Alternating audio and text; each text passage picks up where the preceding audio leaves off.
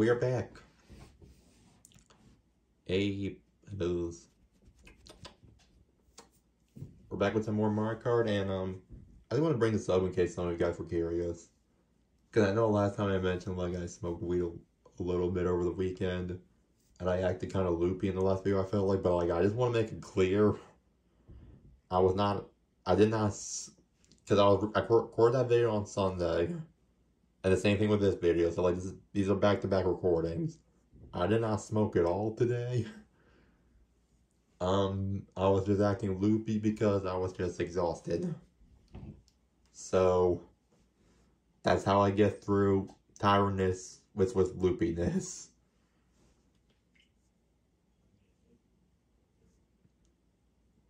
I mean, obviously, I'm not gonna get cancer or that kind of shit, but I figure maybe some people might have been curious, so I just thought I'd let you guys know.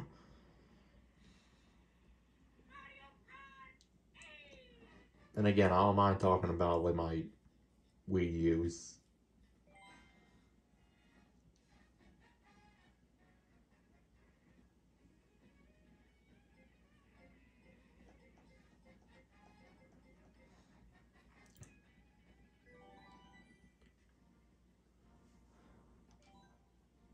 I mean, it's not gonna get me into any kind of legal trouble unless it's like under like specific circumstance, but like I'm not really like in any of that kind of situation. So, yeah. Spiny Cup next. I'm gonna do the car first. I mean, we, I already know we're doing Funky Kong first, but like, yeah, I just feel like doing the car first. Also, I forgot to say in the last video about like my family is current. Well, just my mom and my brother. They're watching football out there, so yeah. Where is the card that I fucking want? Oh, I passed it.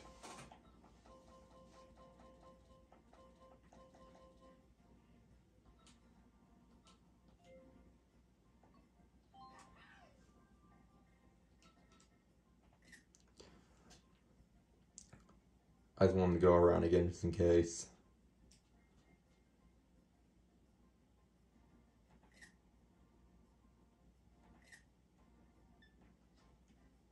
Again, I know the handling stat is shit, but I should be allowed to use a card just because it looks cool. Sometimes it's not about the statistics, it's about the statistics. Yeah, let's go with that.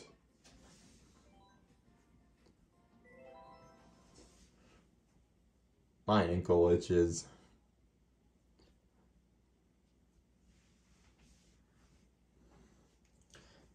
Yeah, and these are back-to-back -back recordings, so now I'm extra ex exhausted.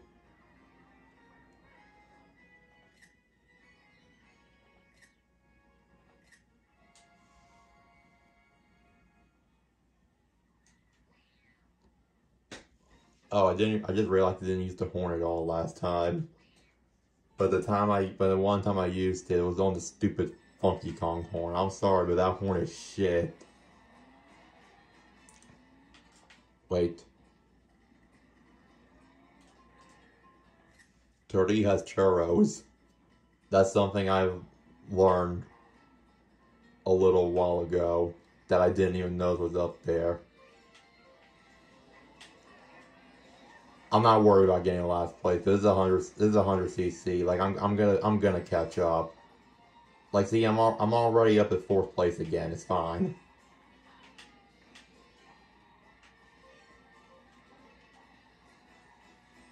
Like, like, see, it doesn't matter. It, it literally doesn't matter. but, like, I'm surprised I didn't notice that because I had a running gag of, like, talking about, like, churros and shit. Even though I don't even eat that many churros in my normal life, I've always just thought it was funny.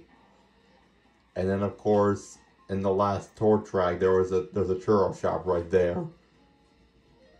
Which I didn't know that when I first played, but then after playing it a few times. Now, I don't remember if it was like during a video session or if it was because I was playing with some of my friends. But yeah, it was it was one of those two occasions is when I first noticed it, and I was like, shit. Wiggler!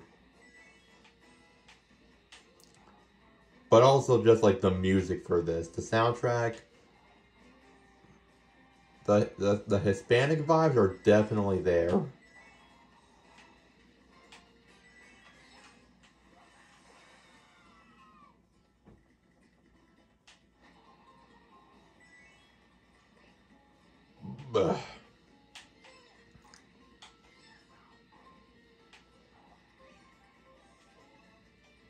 But yeah, this, this track is really. I mean, I knew it was going to be in the game anyway, because, like, I feel like every single tour track being in the booster course pass with inevitability. But yeah, I, I like I, I like that this is the one that, that they chose for the Spiny Cup. It definitely has some pizzazz. Let's go kill a Goomba. Or I will let the Goomba kill me. That works too. Man, I just feel like deep down kind of sucks because like Super Mario RPG has already been out, and I really want to try that. But at the same time, I still haven't even beat Wonder yet because I'm still trying to do content for that. And I have so many other ideas I want to fucking do, but I know I'm not gonna be able to get to them all in time. Yada yada yada. Just one thing after another. I don't know. But as long as long as you guys personally enjoy the content that I'm putting out then I guess it doesn't really matter, does it? I'm just sitting here chilling, doing what I like. What I like. I have a bunch of plans in mind. I know I'm gonna get to them eventually. But as long as you guys are kind of liking the content that I'm putting out at the moment, then then it's just in my fucking head and I got nothing to worry about. again, one of my favorite content creators on Alpharad, he explained that the whole concept of like content creating, it should be like a Venn diagram. There's there's the content people want to see, the content you like want you want to make, and then there's everything in the middle. The bottom line is, as long as you try to stay close to that middle portion as possible, you can keep your fan base happy, and you can keep yourself happy because you know you're pleasing your fans while also being able to do the type of content you want to make.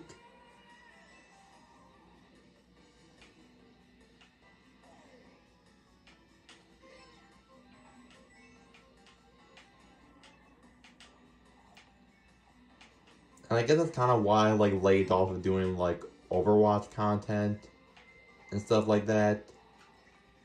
Not necessarily because I don't like Overwatch. I mean, I haven't played in a while, but like Overwatch is a good game, but it's just like, I don't know. Like, I guess no like what no other two times like outside me like just trying to like do it for the first time. I, it wasn't really that enjoyable otherwise. And I figure something like that, I feel like it's best enjoyed when I'm playing with other people and not trying to be in, in front of the camera, you know?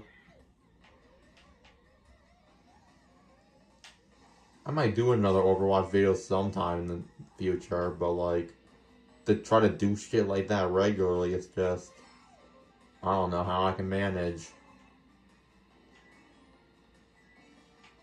Because then at that point, I'm just doing something that I don't really want to do, but yet I feel like I have to do it for an obligation. Like, my content should not have to be an obligation, you know?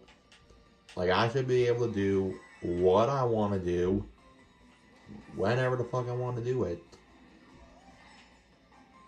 That's just the way it should be. So going back to Super Mario RPG then. If you guys like that game, then great. But just understand that I might not be able to get to it right now. I probably won't even get to it before the end of this year. And that's fine. But I want to get to it eventually. It's just going to take time. That's just the way it's got to be.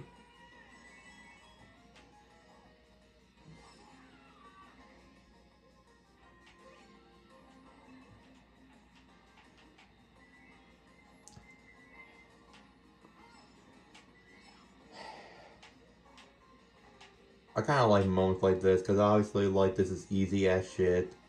So now just gives me an excuse to just, like, get semi vulnerable for a moment, just about, like, the whole, like, creative process and stuff like that. So, this is nice. Because I don't gotta focus too hard.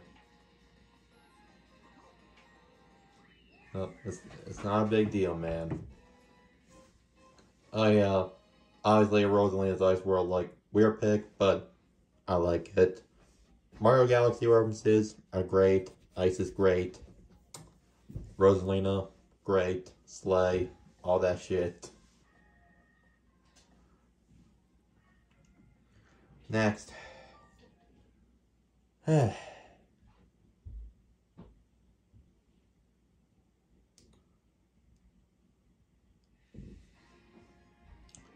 Some people might find my personality boring, and I'm just like, good for you.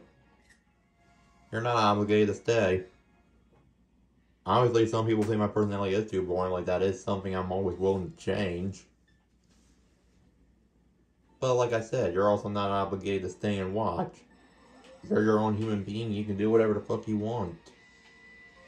That being said, I am happy the constructive criticism.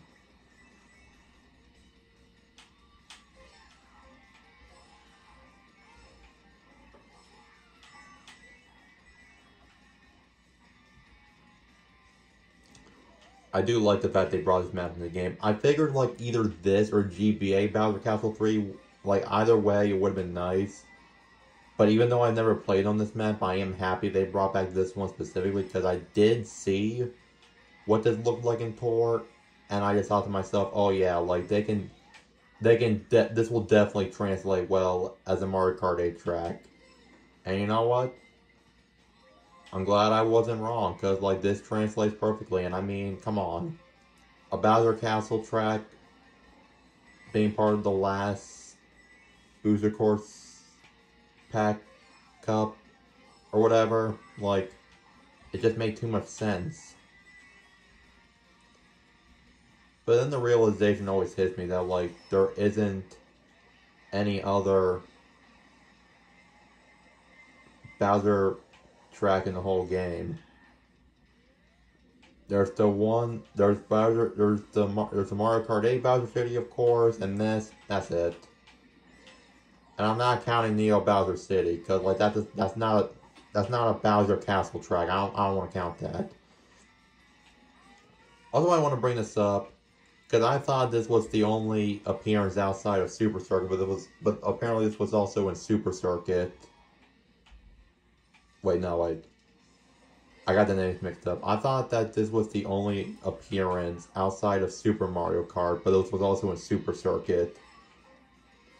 That's kind of another thing I want to bring up, because I remember playing on Sky Garden. One of the first tracks that came out for the Booster Course Pass. And then I was looking at, like, videos of, like, and I'm sure you guys have seen it before, right? Like, comparing new, comparing retro tracks to, like, the previous appearances. And I did not know until a few weeks ago that Sky Garden was also a Mario Kart DS. I didn't know that at first. But then when I saw the clip, I'm like, oh shit, that's what that was? I remember that now. so I, I don't know. I kind of found that out, like, obviously, like, too late, but, like, it's just a cool thing that I've learned, so, I don't know. I'm, I'm a stupid piece of shit. Can we just move on?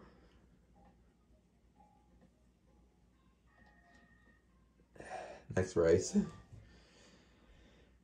I'm an embarrassment, I know. You don't gotta tell me that. Now this one.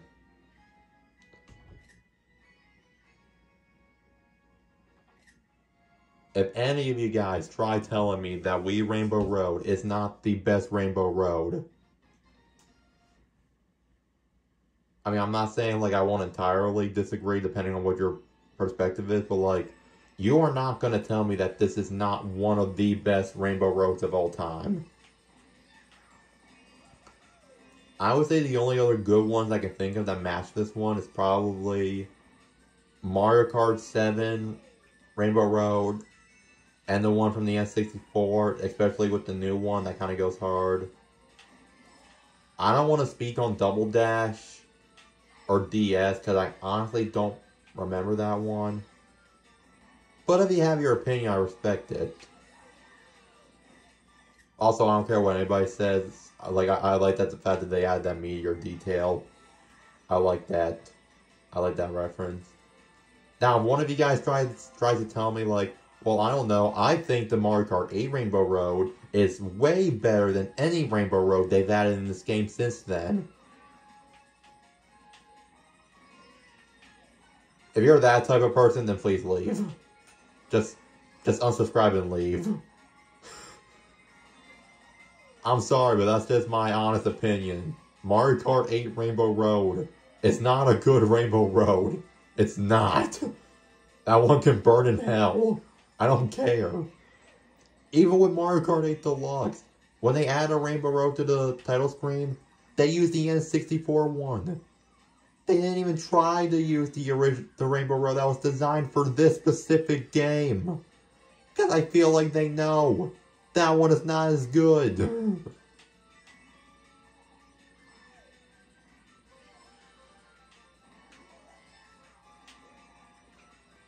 I'm not saying I've ever met a person who tried to say Mario Kart Rainbow Road was like the best thing since sliced bread, but like, I just have a feeling those people exist, and I don't like it.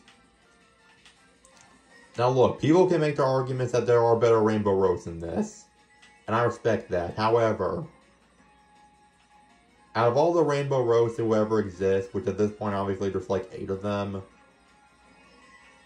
this has to be in the top five, if not the top three, for most people. That's just my opinion. Like, I feel like this has to be at least in the top five. Rainbow Roads, if you're ever bringing up that kind of discussion. The music track is dope. Some people think it's too chaotic because of the wavy nature of it, but that's why I like it. I liked it on the Wii. I liked the remake.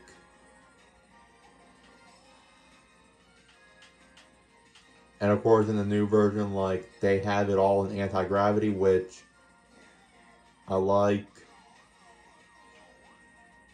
I don't necessarily like the fact that I die, but I do like the fact that they added the meteor effect when you fall off the map. Again, it's just little things like that, you know? I'm just trying to say that this, if if I'm talking to somebody and we're talking about like the best Rainbow Road tracks of all time, I am not excluding this from the conversation because god damn it, this is, if not number one for me, it has to be top three. Mm. And I stand by that.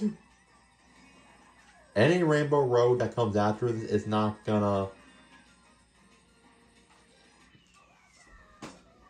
it's not gonna like remove that opinion. Like, I stand by that no matter how many Rainbow Roads come after this. Right, Puddles? Where are we, Rainbow Road family? But anyway, we won.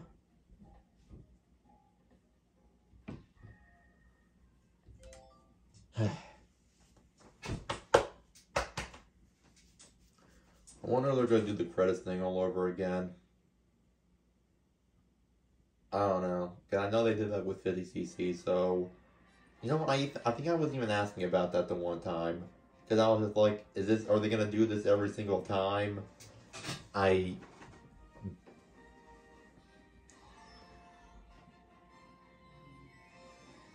Yeah. Love you too. But yeah, I wasn't even asking that last time. I was like, are they gonna do this every single time I beat the Spiny Cup on NECC? And I guess like sooner or later we're gonna have a answer.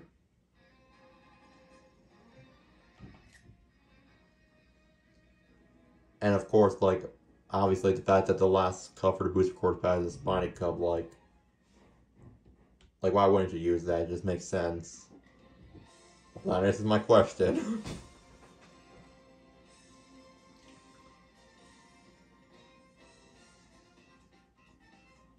You know, Barbie really wants to skip this, but... I mean, it's catchy, so...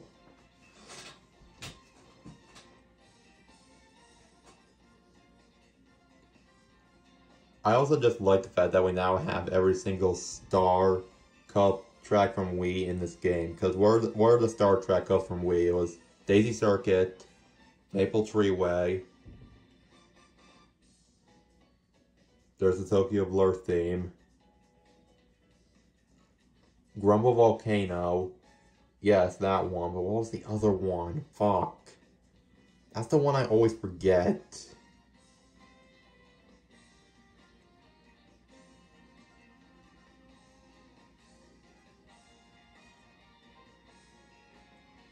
It always slips my mind.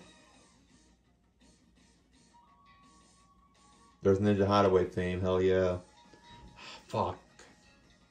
Grumble Volcano's the last one, I know that. It's not Wario's Gold Mine. Is it? Maybe it is and I'm just stupid. It probably is Wario's Gold Mine now that I'm thinking about it.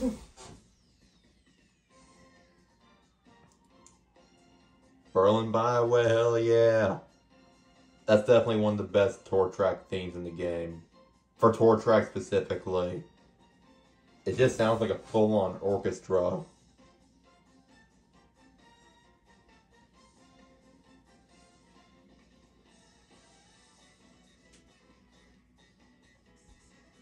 The Singapore Speedway one also goes hard.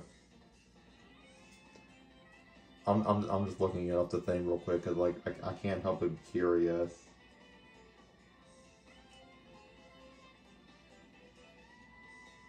Link! Oh, now that's not Link. No, I mean, Link was there, but not anymore.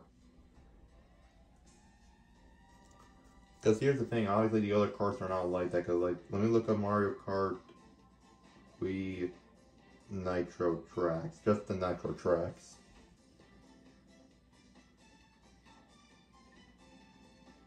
Close enough. My tablet is still a slow piece of shit. There's Birdo.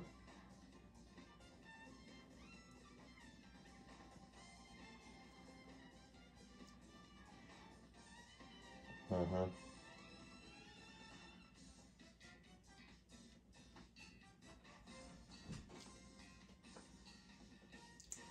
There we go. There we go.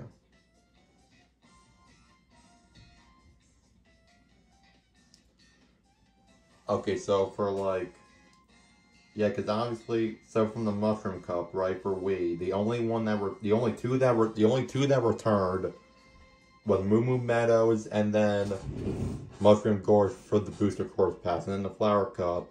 Oh, the other two from Mushroom Cup, by the way, it was Luigi Circuit and Toad's Factory, which, which, R.I., like, R.I.P.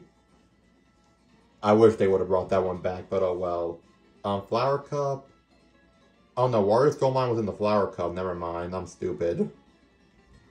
Coconut Mall, DK Summit, and Wario's Gold Mine. So, one in the Booster Course Pass, one for the Mario Kart 8 main DLC, and then... No, two from... Two of them are, are the Booster Course Pass, actually, because Wario's Gold Mine, that was in Mario Kart 8, but I don't think that appeared until, like, the first batch of DLC. And then Coconut Mall DK Summit came later with the Booster Course Pass. Yeah, we have the entire Star Cup right here. Day Circuit, it was Koopa Cape. That was the only one I forgot. Maple Treeway and Grumble Volcano. One in the main game and then three booster course pass one. And then the only one from the Special Cup we have is Moonview Highway and Rainbow Road, both via the booster course pass. And the other one, the other two are Dry Dry Ruins and Bowser's Castle for the Wii. I just couldn't help but be curious about that. But yeah, that was the other one for the Star Cup. It was Koopa Cape. Damn.